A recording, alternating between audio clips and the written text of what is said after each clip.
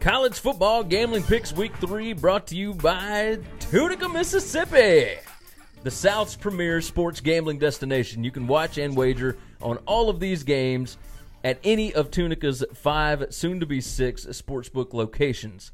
That is at the Horseshoe, Gold Strike, Sam's Town, Hollywood, First Jackpot, and opening soon, the sportsbook over at the Fitz Casino. You can get more information at tunicatravel.com. You can get these picks at winningcureseverything.com. Let's jump right in. You want number one or you want me to? I'll go number one. Go right ahead. Rolling on. After starting the, I guess, week two out, one and six, the putrid one and six. Oh, we I didn't even write that down. Look, I went five and two in college against the spread last you week. You weren't even going to tell nobody about it. I went three and four the week before. You went four, two, and one in week one, and then went one, and, One and six, six. last. That's it, it's time for a bounce back. I had a losing week the first week. back. I went five and two the next Now, week. me- this is your this we're is gonna, your time. We're gonna we're gonna bring this up, but this is what gambling's supposed to be about. Sometimes you go one and six in college, you don't go home, you don't cry about it, you don't whine about it, you nut up, you get back at the table. What I do in football, four and one. four and one in our picks, Uh, picked you, up you went, two picked yeah, up two extra picks, Yeah, won both of those, hit a parlay, hit a teaser, Yeah, you bam, cashing mega tickets. You don't get scared, you go back up. I'm Starting out, I am going to be fading Florida State all year long. Give me Syracuse. I got them earlier at plus four. The line has moved down to plus three. Don't care. I think they have a chance to win the game. They're going up to play the Orange. That stadium knows blood is coming. They think Florida State is weak. They will sell that place out. That dome gets loud. yeah, it does. That dome gets really and loud. Eric Dungey's good, man. And I, I, I think they're going to have the best coach on the field. I think they're going to have a tough football team. I think these guys think, hey, we can beat these dudes. We're normally like a 15, 16 point dog. Man, uh, three points? We're, we're in this like, thing. man, we beat Clemson last year. Yeah, we're we can in do this, thing. Give me the 'Cuse. I think they win the game outright. Plus three. Straight up. Take them. For me, Hawaii at Army. Y'all know I don't like messing with these big name teams. I find metrics, I find numbers that work for me. Saturday, 11 a.m. Central Time on CBS Sports Network in West Point, New York. Army is a six and a half point favorite. That line opened up at like an eight point favorite. It got bet down because everybody's so high on Hawaii right now. Correct. Oh, the run and shoot's back. Oh, Cole McDonald's so good. Listen, are you serious? The game starts at 11 a.m. Central. That is 6 a.m. in Honolulu. That is a body clock game if I've ever heard one, right? I mean, this is ridiculous. It's 4,949 miles from Honolulu to West Point. The game starts at 6 a.m. local time for Hawaii. Hawaii's given up 5.21 yards per carry so far this year. They are giving up 34.7 points per game. Army is going to score. Even giving up 307 yards passing to Liberty, Army still won 38 to 14 last week. Don't give me that Hawaii crap. Everybody thought this team was like a top 120 team or a top, a bottom 120 team, right? I Like they were, they were the bottom 10 team. Look, they're coming back to earth this weekend. Wow. Hawaii ain't even getting close. Army minus six and a half, and they are rolling. Boom. My next pick, I'm going down to Stillwater. Oh, you actually betting this one? I'm going down to Stillwater. Okay, okay. Give me Oklahoma State. There give me, it Give me the fighting Gundies. There I don't believe is. in the Boise State. They're going to go undefeated. They're going to be the best group of five. They're going to make the New Year's Six Bowl. No, sir. This line is two and a half. Oh yeah. Two and a half. Vegas thinks Boise's going to win this game. Everybody's betting on the hype train of Boise. No, sir. The fighting Gundies are going to come out. Now, they're going to score. This is going to be a big one. They're going to put a lot of points up. Did you see what the over under was on this? 70 It was 74, I think. 74 yeah it was in Yeah, the 70s mid 70s It might have Um, been bet up to seventy seven though. but i'm i'm i'm taking the cowboys i think gundy is a way better coach i just think they got better dudes They got the home crowd and, behind them. and that place is going to be rowdy They got motivation, all that wonderful stuff. Game number two for me Tulane minus four at your boy Bill Clark, UAB. Saturday, struggling right now. noon, Facebook Stadium. Yeah, you're gonna have to watch this game on Facebook. That's right. That's I picked them big games at Legion Field in Birmingham. Look, UAB is giving up 5.57 yards per carry rushing on the season. They gave up 296 yards rushing, which was Coastal 6.88 yards per carry to Coastal Carolina. Coastal Carolina, Tulane, Willie Fritz. That's a bad dude. They Look, gave up 42 points to Coastal Carolina. even even you were selling them a little short. It was 47. Oh, well, 47 the hell, points. man. Damn. Tulane is averaging 5.1 yards per carry, and their triple option is going to run all over the Blazers. Willie Fritz, he is 42, 28, and 3 against the spread. This dude cashes tickets. He cashes it. Bill, Bill Clark is 15, 9, and 1. Can I can I get out in front of something? Go ahead.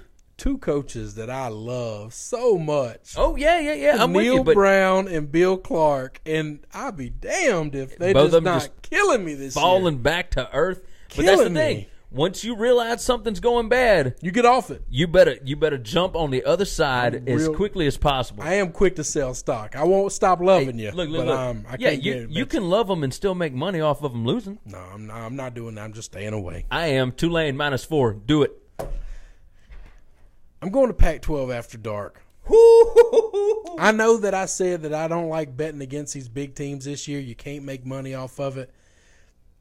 I think Utah is one of the toughest places to play in all of college football. Nighttime, Washington going there, catching But six. Washington ain't one of those big teams you were talking about. Man, no, but they're still the best team in the Pac-12, and it's not close. Yeah, But- we'll, we'll but see what Stanford has to I, say about I that. sure wish that it was more than a touchdown. You're catching six. Man, Utah might upset them straight up. I think Utah's going to be physical. I think they're going to out. They're going to beat them up. They're just their defense is going to beat them. They're just gonna beat them up. And and they they kind of played a little dirty. They like to get in fights and scuffles they in games. They're not afraid of of pushing limits and pushing you around a little bit after the They, they game. get in your head a little bit. I don't know that Washington's willing to fight. And uh, give me the Utes at home, Pac 12 after dark. I bet against Pac 12 after dark last week. I'm not doing that anymore. I'm learning my lessons, guys. Sounds good to me. This old dog can be taught some new Sound, sounds tricks. good to me. Third game for me Miami, Ohio at Minnesota. Minnesota minus 14. It's only 14. It hadn't moved. I hadn't figured that part out. Saturday, 2:30 p.m. on the Big Ten Network. Cincinnati beat Miami of Ohio 21 to nothing last weekend in a neutral site game. Minnesota is immensely better than Cincinnati. Miami. Miami is only averaging 3.2 yards per carry and 5.7 yards per pass attempt. 5.7 yards per pass attempt. You besmirched the good name of the Bearcats. I don't know if I like that. Look, Minnesota is only giving up 2.8 yards per carry and 4.8 yards per pass attempt. Like, that is a disaster waiting to happen. Miami is 0 2 against the spread. Minnesota is 2 0 against the spread. PJ Fleck has got this thing rolling right now. That's only 14. Minnesota's at home. Let's go, baby. Minnesota, minus 14. I'm going down to Texas. And I'm going. Do I want to make this pick? Yeah. I'm taking the Houston Cougars. Minus one on the road to Texas Tech. I think I think they're going to win the game.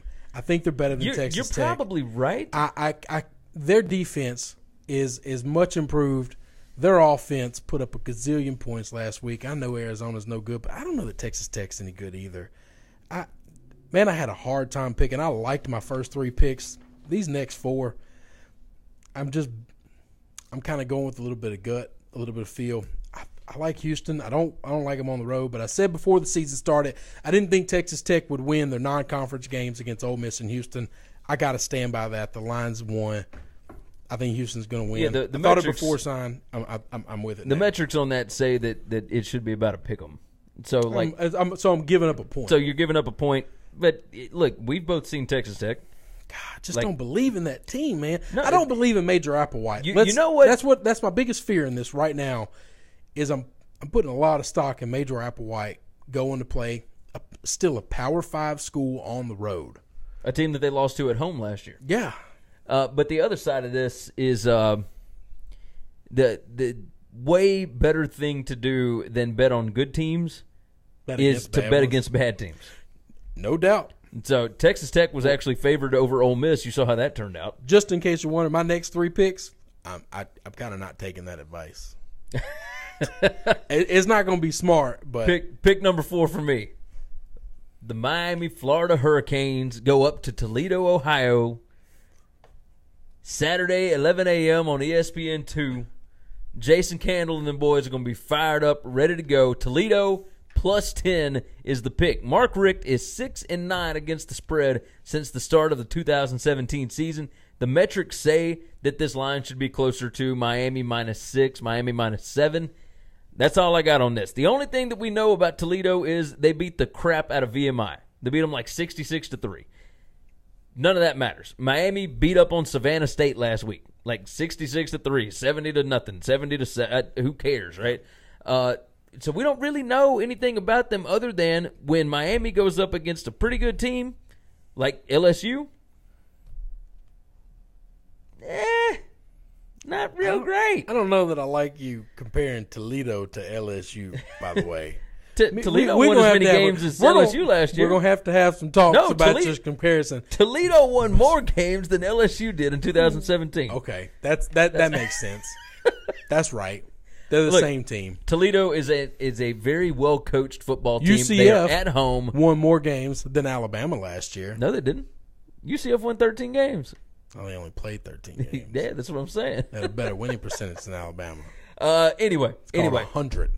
blah blah blah. Come on, man, get out of here. You just compared LSU to Toledo. I, I'm comparing as far as Mark Richt goes. Don't listen to the rest of this crap. Toledo plus 10. Cash a check. I said last week during the recap that you should not bet against these big, the top six, top seven teams. They're gonna outrun everybody. All right, now you've The got me curious The here. separation between good teams and great teams in college football this year is so big. It's, I mean, just It's a lot. it's out I- there. It's- I can't. I can't do it. I'm going. I'm going. Gary Patterson. I'm going to Horn Frogs. They're in Dallas Stadium. They're gonna. They're gonna hang with Ohio State.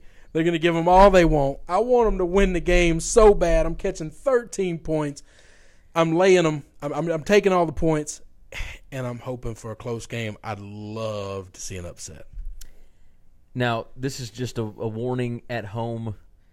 Uh, it is never good to emotionally bet because that's how you end up betting on South Carolina last weekend. So, if you want to roll with this because you like Gary Patterson, that's totally cool. But like he said before, he prefaced it with it's not smart to bet against the five, six, whatever best teams in the sport right now. So that's just a little warning. All right. Next game up for me. It's gonna work out. Oh, I'm I'm about to I'm about to do you one up. Okay. Oregon State at Nevada. Oregon State is a four point underdog in this game. Saturday, 6 p.m. You can only find it on ESPN three. You Can't even find this game on Facebook. Yeah, it's not on Facebook. You got to go to E ESPN3.com The or Ocho. watch ESPN. Oregon State is a different team this year under new coach Jonathan Smith. The offense is averaging 6.6 yards per carry and 8.8 yards per pass attempt. Nevada is still getting value from their 72 to 19 win over Portland State, who is god awful. Okay? Portland State sucks. Don't count that win. Nevada was 3 and 9 last year. You can count that. You can take that to the bank. Oregon State still averaged 5.0 yards per carry, 14.0 yards per pass attempt against Ohio State. They had 571 yards total offense in Columbus. I think they're going to win this game outright. I don't care that it's at Nevada. Look, Jonathan Smith has got this offense rolling right now. They're going to outscore Nevada. The other the other part of this is is take the over. Uh, it's at like 69. Just take the over. Just uh, take the over and take Oregon State plus four or straight up, whatever you want to do. But Oregon State's the play here. My last two picks got killed thanks to the hurricane. I was gonna take Central Florida. I was gonna take North Carolina. Thanks thanks to the hurricane. Yeah, I tried my And- best to stay away and from. and from now those games are canceled, and I had to find two more games, and I'm I'm taking them. I'm putting my money down on them. I'm riding with them. I'm going to Ames. I'm going to Iowa State. I'm betting against Oklahoma. I, I know it's not smart. I'm catching 17 points, and I'm hoping they keep it close. They upset them last year. Maybe they can catch lightning in a bottle. People in Ames, the good people of Ames, Iowa, are going to show up for this game, and they're going to carry us to a cover. I'm going the exact opposite way. I am going Oklahoma minus 17 here. You don't bet against those good teams. Here's the deal. It's Saturday, 11 a.m. ABC. Iowa State scored three points at Iowa last week. That's a rivalry game. At okay, you don't think this one is a little a little more a- juice it's because of a last year? conference game. Okay, look, they lost senior quarterback Kyle Kempt. This is a revenge game for Oklahoma. Lincoln Riley's going to take it personally. New quarterback Zeb Noland went 4 out of 10 for 43 yards last week against Iowa. In 2017, he was 36 out of 66 for 533 yards, two touchdowns, and one pick in these four games Northern Iowa, Kansas, Oklahoma State, Baylor. This dude has never seen anything like what he is about to see. Oklahoma will roll Iowa State in Ames for having the audacity to come into Norman last year and break up Baker Mayfield's perfect season. The fact that Oklahoma might be thinking about that loss has me feeling so much better about this. I'm so glad we're going head to that head means that means they're living rent free. we haven't had very many of these. In Riley Ferguson's Lincoln, why do I keep calling him Riley Ferguson? That's the old old Memphis, Memphis quarterback. God, dog. Lincoln Riley. There's too many Rileys in my life. Who's uh who's your last pick? My last pick, I'm going with the Tigers. Give me LSU catching nine points in Auburn. Auburn might boat race them. Auburn might. I don't think they're gonna house boat them. But the fact that this opened at a ten point line is just a complete lack of respect for my LSU Tigers. And we're I'm rolling with Coach O. Go Tigers. Last game for me, Boston College at Wake Forest. Wake Forest plus seven. They moved this game up to 5:30 p.m. Thursday night on ESPN.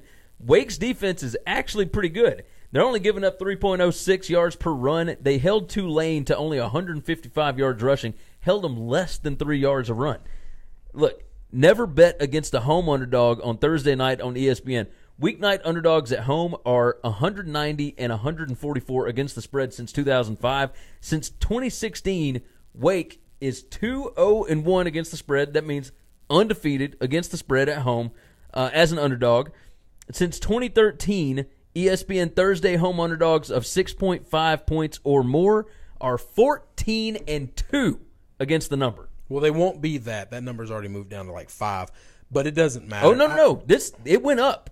It went up again today. I, I literally checked it like an hour before you got here.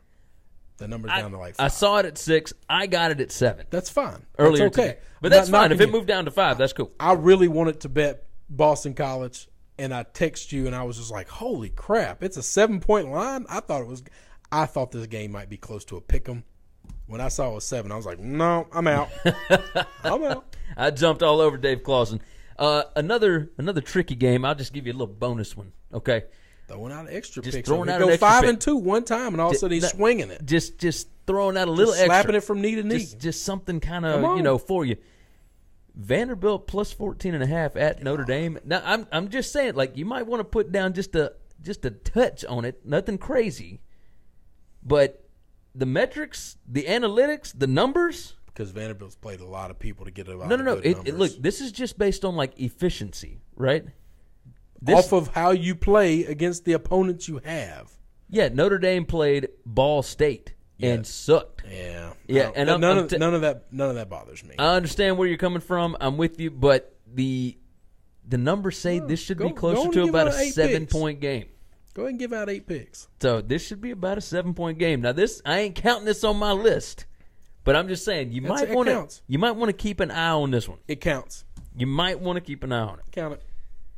You can watch all these games over at Tunica. You can go to any of the sports books. They're You, pretty you awesome. can't catch that Facebook game at Tunica. No, you can. They got Wi-Fi. You can't catch that. Facebook. All these sports books got Wi-Fi. Go check that thing out. TunicaTravel.com, where you need to go. We've given you what you need to be a winner. Go put your action down. Do that thing this weekend, this Saturday, this Thursday, even. Do what you got to do. Get your money in. Make them car payments, baby.